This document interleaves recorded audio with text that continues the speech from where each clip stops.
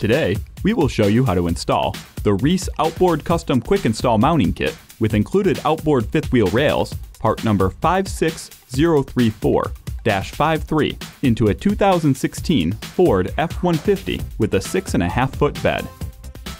The Reese Outboard Custom Quick Install Mounting Kit with included outboard fifth wheel rails, part number 56034-53, includes the Reese outboard mounting brackets, part number 56034, as well as the Reese outboard fifth wheel mounting rails, part number 30153. For a complete list of compatible part numbers, as well as a complete, full color step by step instruction sheet for this installation, visit reeseproducts.com. To prepare for and ensure a quick, quality installation, be sure to check all the part numbers against the part list included with the instructions. This will also help familiarize yourself with the parts in the kit. During this installation, we will be using the following tools.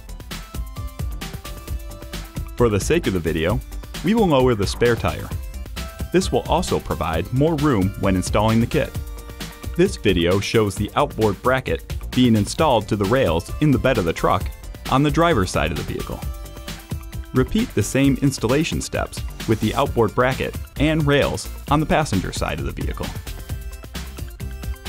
Begin the installation by applying the isolator strips to the bottom of the Reese bed rails. These isolator strips will protect against galvanic corrosion by preventing the steel of the bed rails from coming into direct contact with the aluminum bed. We are now ready to measure where the rails will be located in the bed of the truck.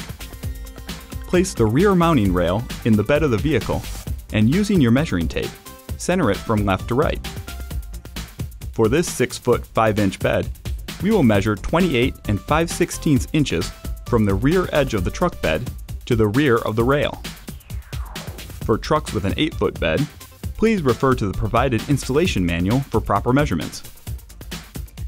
Using the rail as a guide, mark and center punch the five holes for the rail. Next, move the rail out of the way and drill each position through the bed with a 1 8 inch drill bit. Before drilling, check underneath the truck bed for any potential risk to the vehicle's components, such as brake lines and fuel tanks. Make appropriate safeguards to protect them from damage. After drilling the pilot holes, we will need to loosely install the frame brackets to the frame of the truck. This is to ensure that the pilot holes of the rails align with the bolt holes of the frame brackets. Before installing, be sure to place the provided galvanic isolator squares over the flat steel surface of the frame brackets that will come into contact with the aluminum truck bed. Use a knife to slit the isolators covering the holes for the mounting bolts to allow for bolt access. Working in the rear wheel well of the truck, insert the coiled end of the provided pull wire through the truck's rear mounting hole and out the back of the provided access hole on the inside of the frame. Next, thread a pull wire through a spacer block and attach a half inch carriage bolt to its coiled end. Push the attached hardware back through the frame's access hole and pull the pull wire back through the frame so that the attached bolt threads through the rear mounting hole. Next, thread the pull wire through the rear mounting hole of the outboard frame bracket and place the bracket to the frame.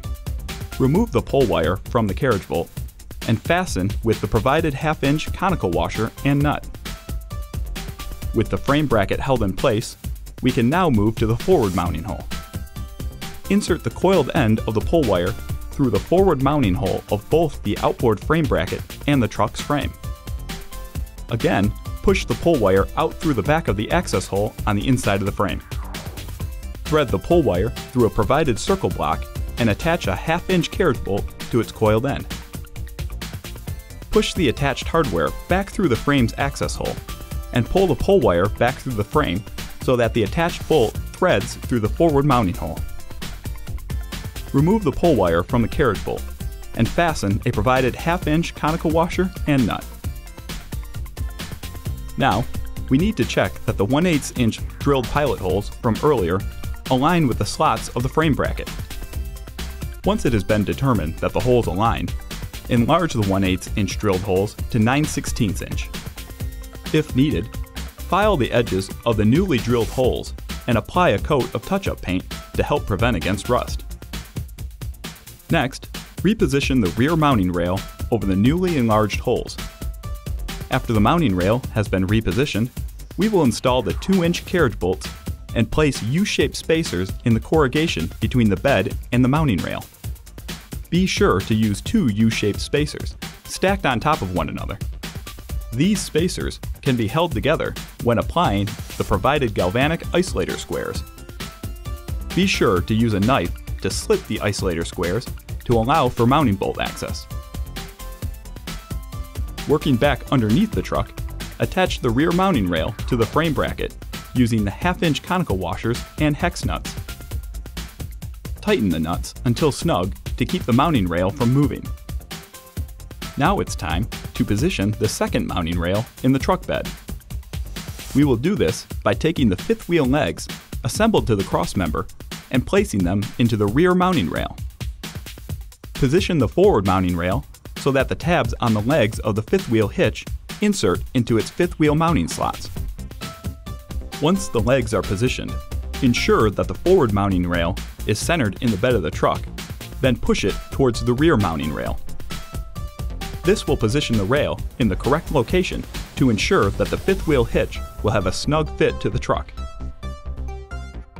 Mark and center punch the five holes in the forward mounting rail, then move the rail out of the way and drill the five pilot holes. After the pilot holes have been drilled, check underneath the truck to ensure that the newly drilled pilot holes align with the mounting holes in the frame bracket. Once alignment has been confirmed, enlarge the pilot holes to 9 16 inch. If needed, file the edges of the newly drilled holes and apply a coat of touch-up paint to help prevent against rust. After all drilling is complete, move the rail back into position and install it using the stacked U-shaped spacers, galvanic isolator squares, and half-inch fastening hardware. Make one final check using diagonal measurements to ensure that the rails are square to one another. Now you are ready to tighten all of the hardware to final torque specification, as indicated in the installation manual. Starting with the hex nuts that fasten the center of the mounting rails to the truck bed, torque all nuts to 110 foot-pounds. Next, torque the hex nuts, fastening the rails to the mounting brackets through the truck bed to 110 foot-pounds. Finally, move to the fasteners that attach the frame brackets to the vehicle frame and torque all nuts to 110 foot-pounds. To finish the install, replace the spare tire.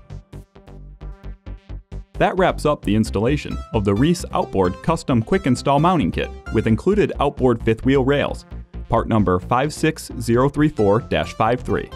For more information on this and other great products from Reese, visit reeseproducts.com. Reese, pioneering performance.